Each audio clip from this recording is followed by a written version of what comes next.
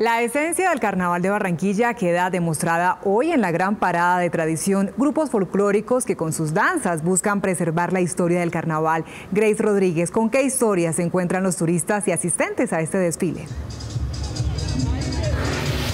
Pues son muchas las historias que se encuentran aquí en estas comparsas que lo hacen de generación en generación participando cada año en el Carnaval de Barranquilla. Pero hoy acompañamos específicamente al Son de Negro Puerta de Oro desde el barrio Rebolo en el suroccidente de Barranquilla.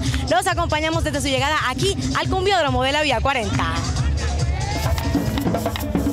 Bajo un inclemente sol, más de 120 grupos con danzas típicas del carnaval engalanan el cumbiódromo de la Vía 40 en la gran parada de tradición. Uno de ellos es el Son de Negro Puerta de Oro, conformado por más de 50 niños y adultos que pintando su piel reviven la historia de sus ancestros. En una época había mucho racismo y gracias a Dios eso ya se liberó ya y ahora compartimos ahora los negros con los blancos.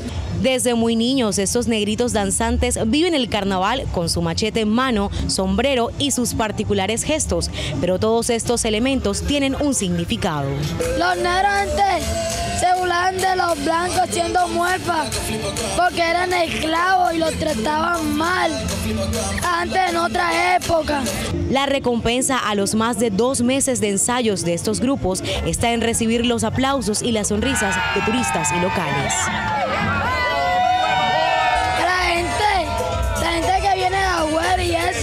Le gusta cómo hacemos muevos y eso.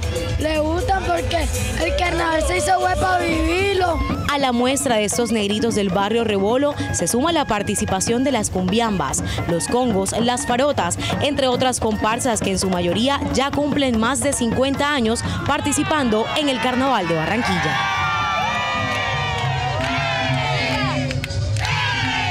Ustedes observan es la comparsa Fuerza Negra del barrio La Manga. Ellos tienen más de seis años de estar participando en el Carnaval de Barranquilla y así como ellos hay más de 120 agrupaciones que estarán participando hoy, demostrando toda la esencia del carnaval.